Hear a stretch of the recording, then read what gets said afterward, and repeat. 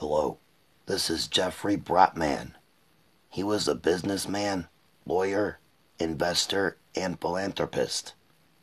He lived between 1942 and 2017. He was co-founder and chairman of Costco